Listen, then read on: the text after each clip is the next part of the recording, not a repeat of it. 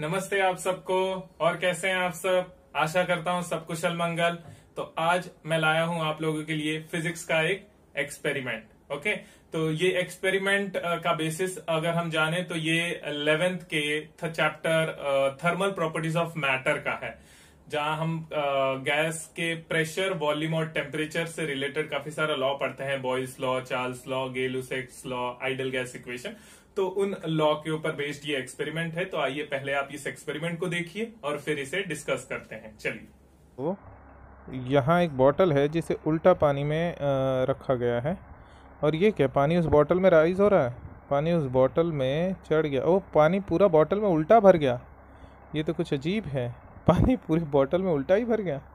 वाह चलिए देखते हैं, हुआ क्या? तो ये एक्सपेरिमेंट को जानते हैं। तो हमको सबसे पहले लेना है एक ग्लास का बॉटल और जिसके अंदर हम लोग डाल गर्म पानी। एकदम बॉइलिंग वाटर होना चाहिए 100 डिग्री सेल्सियस तो ये गर्म पानी डालने से ये होगा कि ये जो बॉटल का अंदर है बॉटल के अंदर जो इनर लेयर है बॉटल का, वो 100 डिग्री सेल्सियस पे आ जाएगा। तो बॉटल अंदर से पूरी तरह गर्म हो चुका है। थोड़ी देर रुकते हैं, फिर इस गर्म पानी को हम रिटर्न निकाल देंगे। अब हुआ क्या है? अंदर से बॉटल एकदम गर्म है। तो बॉटल के अंदर फुल स्टीम है, गर्म स्टीम 100 डिग्री सेल्सियस पे। 100 डिग्री वाली स्टीम है। और अब हम इस बॉटल को उल्टा इस रेड कलर वाले पानी में डालते हैं। ये जस्ट पानी है रेड कलर का। और हम क्या देखते हैं? ये पानी फिर से राइज होना स्टार्ट हो गया गाइस पानी राइज हो रहा है और ये देखिए क्या उल्टी बॉटल भरने की निंजा टेक्निक। तो ये बॉटल उल्टा करके भर गया। ओके तो ये रहा थर्स्टी बॉटल एक्सपेरिमेंट। तो बॉटल इतना थर्स्टी है इसको रखने से, उल्टा ही रखने से ये तो पानी पी रहा है। यस, ये बॉटल ने पानी पी लिया, खुद खींच के पानी पी लिया। वाह so this is a thirsty bottle ओहो थर्स्टी बॉटल चलिए देखते हैं क्या है इस एक्सपेरिमेंट में। समझते हैं इसके पीछे का फिजिक्स चलिए गाइस देखते हैं इसे, क्या चल रहा है यहाँ पे। तो हमने देखा, उस वीडियो में आपने देखा होगा कि इस बॉटल को हमने उल्टा रखा है, लेकिन फिर भी ये पानी को सक कर रहा है। जैसे कि मान लो ये बॉटल पानी पी रहा है it is called thirsty bottle experiment तो ऐसा तो हम डेली लाइफ में नहीं देखते हैं। हमको बॉटल अगर भरना होता है तो बॉटल सीधा रख के उसमें ऊपर से पानी डाला जाता है। यहाँ बॉटल को उल्टा कर रहे हैं और ये खुद से पानी पी रहा है। तो चलिए देखते हैं इसके पीछे क्या फिजिक्स इन्वॉल्व है। तो हमने इस एक्सपेरिमेंट को करने से पहले क्या किया? तो हमने सबसे पहले इस बॉटल को लिया था। एक ग्लास का बॉटल लिया हमने। ओके तो ये रहा हमारा बॉटल और इस बॉटल के अंदर हमने डाला था हॉट वाटर गर्म पानी। गर्म पानी डालने से हो क्या क्या? गर्म पानी डाल के हम 30 सेकंड के लिए रुक गए थे। तो गर्म पानी डालने से हो गया क्या? ये जो बॉटल का इनर सरफेस है, ये गर्म हो गया। पानी के इतना गर्म हो गया। पानी हॉट वाटर जो बॉइलिंग वाटर होता है, जो उबलता हुआ पानी रहता है, वो 100 डिग्री सेल्सियस पे होता है। Boiling point of water is 100 degree Celsius अब हुआ क्या? जब हमने ये गर्म पानी निकाल दिया इसमें से तो पानी तो निकल गया। मगर उसके अंदर बचा क्या है? स्टीम ओके okay, गरम स्टीम या गरम हवा। इसके अंदर जो हवा है वो काफ़ी गरम है। और हमने पढ़ा है फिजिक्स में कि volume is directly proportional to temperature volume is directly proportional to temperature ये हमने पढ़ा है।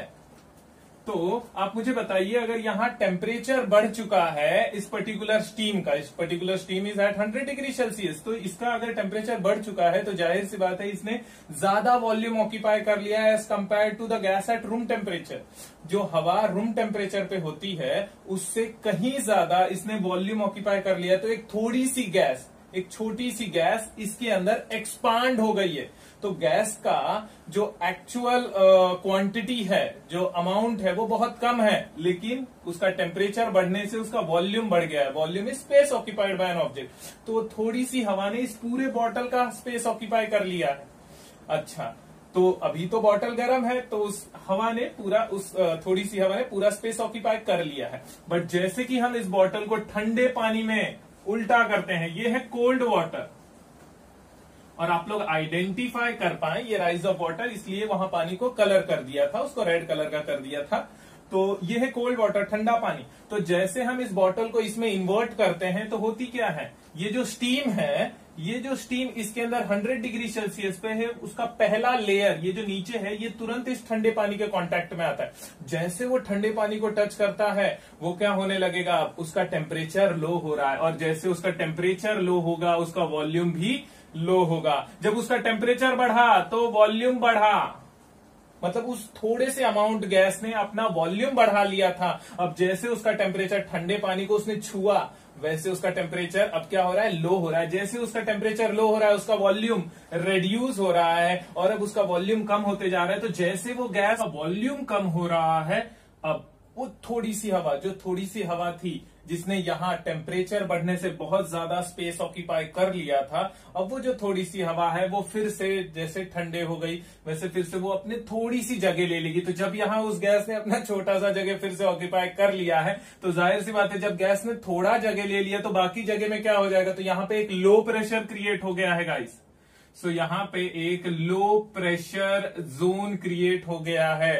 तो लो प्रेशर जोन क्रिएट होते ही हमको पता है जो फ्लूइड्स होते हैं fluids flow from high pressure to low pressure fluids में क्या आ जाता है? Anything that can flow is fluid okay so water air ये सारे के सारे फ्लूइड्स हैं। अच्छा अब देखते हैं। हो क्या रहा है? ये जो बाहरी पानी है ये जो पानी है ये जो बाहर है या हम के उप, हमारे ऊपर हम सबके ऊपर क्या लग रहा है? एटमोस्फेरिक प्रेशर लग रहा है। तो यहाँ तो सबके ऊपर एटमोस्फेरिक प्रेशर लग रहा है।